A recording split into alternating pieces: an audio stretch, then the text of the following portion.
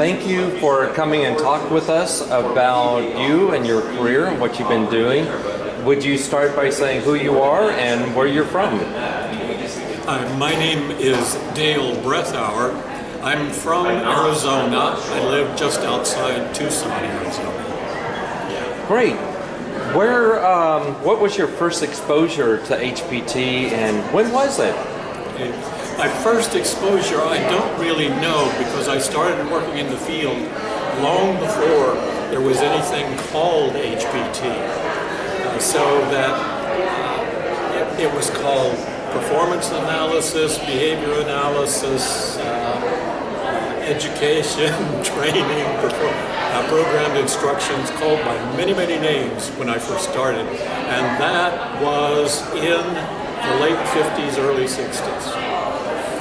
Well, thinking back on that, what was some of your biggest influences for um, for this field, for what you do? Uh, the, the biggest one of all has to be uh, the person who sponsored my first professional paper at a conference. Uh, that was B.F. Skinner. When I was uh, I was still a graduate student at Harvard, where I earned my master's degree. I didn't earn my PhD there. I earned my PhD from Michigan. Uh, but of the, the people there, another person who was a great teacher uh, was a man named Dick Herrnstein, who uh, annoyed many people by writing a book with Charles Murray about intelligence later on. But he was an absolutely great teacher because he always presented, when he presented experimental research, he said, here's how the experiment unfolds from the eye of the subject. And he would tell you exactly how the experiment, and then he would stop and say, how do you suppose it came out? And then you could talk about that. But by the time you finished that, you really understood uh, that experiment inside out. Great teacher. Very good. In 30 seconds or less or abouts, could you give us your elevator speech on HPT or on what you do? On what I do. Uh, what I do is uh, help people learn.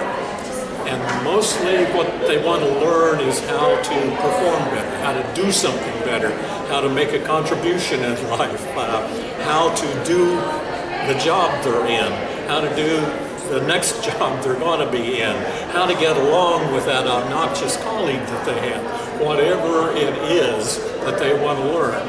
And in the process of helping them learn whatever they want to learn, uh, I will also weave in basic principles of human performance technology so that if I'm successful, they will be satisfied that I've helped them with what they want to learn and they will be a more independent learner so that they can go ahead and learn them on their own and maybe help other people uh, learn to do similar things. Now that's more than 30 seconds, but I'm sorry, it's the way it goes. But that's great, and thank you for that. With what you're currently doing now, what are you learning about for your uh, in your current role and what you're doing in, in retirement? And okay, uh, that's a, that's an excellent question because I retired about 10 years ago, and when I retired, uh, I started reading things that I'd never read before. And I read a book that Gary Rummler loaned me that was written by a man named Thomas Sowell. And Thomas Sowell is an extraordinary economist. So I started reading uh, economics and I found out it wasn't about money, it was about allocation of resources to get results.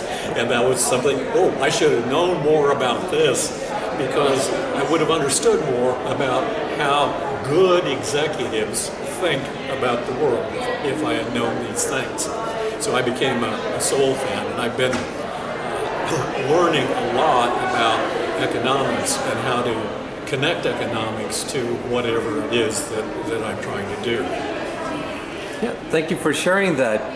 Could you give us an HP term, HPT term that you would like to define for us? Uh, let me try the word improvement. Okay. Uh, uh, improvement has to connect to whoever's performance you're talking about. How is that performance going to improve? How is it going to change? And how is that performance going to add more value? To whom? Where? How? What's it going to cost other people?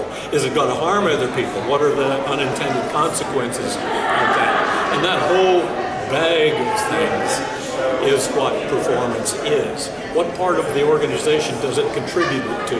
What part of the organization does it detract from? All of that is in that word improvement. So if we want to, changing, changing performance is easy. I can shoot you. It's, it's done. I can uh, offer you a, a good meal changes your performance. It's, that is so easy. I can say run faster. That changes your performance. Improving your performance is the big deal, and that's one reason that I come back the last 40 years or so uh, to ISPI because there are a lot of people around who are actively engaged in improving performance and helping others know how to do that. Well, improving is a great segue for this next question. Can you share us a story with NSPI or ISPI or a project you've done where that you were involved in improving? The, yesterday I gave a presentation in which I talked a little bit about an organization called Ronigan Research and Development. One of the owners of that company uh, was one of my doctoral students who had done her uh, dissertation on uh, connecting performance technology and strategy implementations and worked that out in that company. So the, the, the fun aspect of that company was that they had to do everything better, faster, and cheaper than their, than their customers could. Now their customers were people like IBM, Compaq, major companies, and they had to be able to produce uh, plastic boxes for computers and things like that. And every one of their clients had a whole department, whole division to do that. And but the problem was that they were all big organizations and they couldn't do things really fast. And once you announce a program, you've got to deliver on time or you get in lots of trouble in the marketplace with the regulators and all that sort of stuff. So they were kind of a time machine where they had to do things really, really, really, really fast. And my students worked in that organization and if you could go up to anybody in the organization and say, hey, what's your job? And they would say, I am a customer service agent. And you'd say, how does what you do contribute to customer satisfaction? And they would say, well, I'm cleaning this aisle right now, and the, the pallets the production machines roll down this aisle. And if they can't roll down this aisle and get on the trucks in time, the customers are very unhappy. Or they might say, uh, I am designing this new product, and if I can't get the design right so that we can produce it well, then the customer is going to be unhappy. Or they might say, uh, what I do is, is price our pro projects. So when we take on a project from a major company, I'm the one that puts the price on that. And if I put the price too high, we don't get the bid. And if I put it too low, we don't make money. Uh, so I have to price right. So that's how I contribute. So everybody in the company uh, could tell you how they contribute. And then you can ask them another question, how do you tell how well you're doing? And they would say, oh, I have right here my biggie graph. And it is a graph of my performance that shows how, whether I'm doing my job. Because if I don't do my job, somebody else can't do their job, and so on. So everybody knew what their job was and how to measure it. What happens if you don't do your job well? Then we've got problems. We can't deliver to the customer. So it was, it, uh, my student had created that kind of atmosphere and also the metrics to back it up. And that I found very, very exciting. Well, Dale, thank you very much for your time and really appreciate it. Well, thank you very much.